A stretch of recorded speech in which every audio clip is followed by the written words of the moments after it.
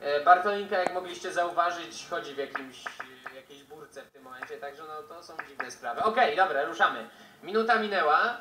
E, teraz tak, gdzie on, gdzie on uciekł ogólnie? Jest mapa. Gdzie on uciekł?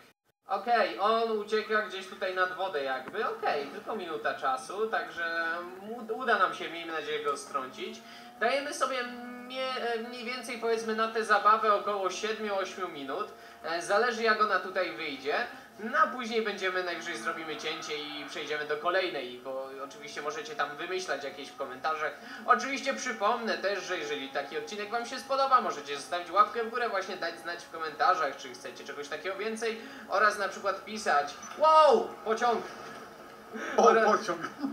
oraz na przykład pisać nie o pociąg, tylko jakie jeszcze zabawy chcielibyście, żebyśmy powiedzmy wprowadzali. Mm, Okej, my sobie zrobimy tak teraz. Spotkał was ten sam pociąg, który by mnie zabił przed chwilą.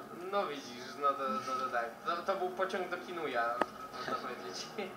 No, oczywiście możecie też wbić na kanały do chłopaków, które podam tam gdzieś w opisie pod filmem, także okej, dobra.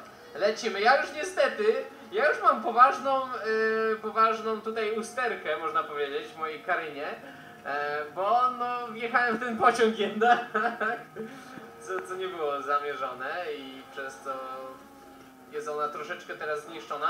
Chłopaki, jak tam, jak tam sytuacja? Gdzie on jedzie? Jedziemy go na trzy fronty. A, okej. Zaraz koło ciebie przejedzie. No właśnie widzę.